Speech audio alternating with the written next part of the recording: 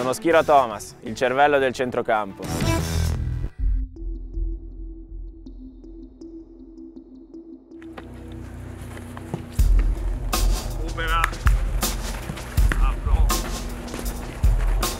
Io sono un centrocampista mediano davanti alla difesa.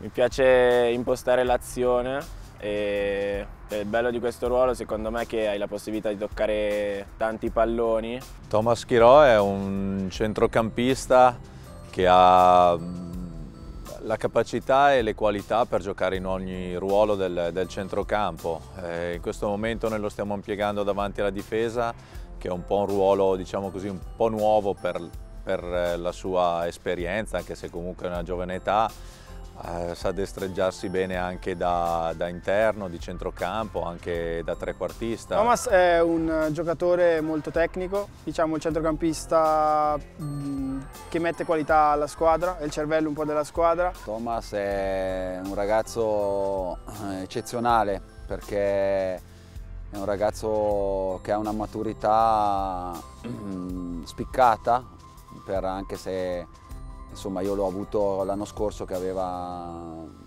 dai 16 ai 17 anni, quindi insomma ho notato subito questa maturità rispetto agli altri avanzata. Tommaso è un ragazzo molto socievole, eh, rispettuoso, educato. Eh, per quanto mi riguarda ritengo che sia un figlio perfetto che possono sognare qualsiasi genitori. Eh, rispetto ai primi passi all'inizio eravamo un po' reticenti, poi però per fortuna c'è stato un passaggio a delle società un pochino di livello superiore, quindi c'è stata probabilmente una scrematura.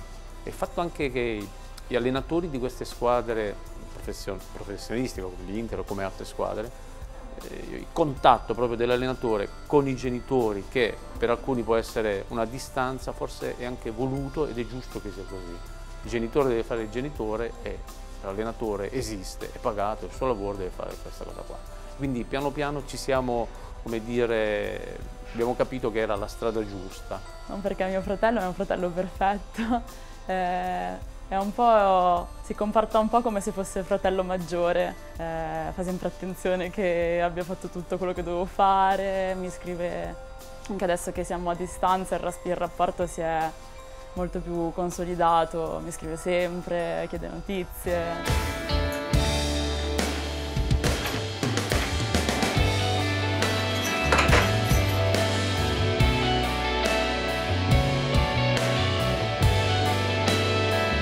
Abbiamo provato a fargli sempre capire che è vero lo sport doveva essere un divertimento.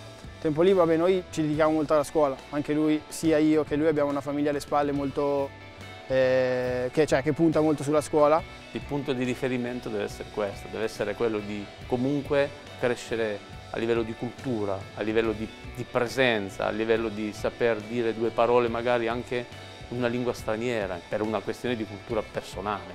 Non tutti possono avere la grande fortuna di giocare per, per l'Inter e per la nazionale e appunto sono molto felice, mi sento molto fortunato e ogni giorno cioè, do sempre il massimo per poter continuare ad avere queste fortune perché comunque c'è anche il mio sacrificio dietro.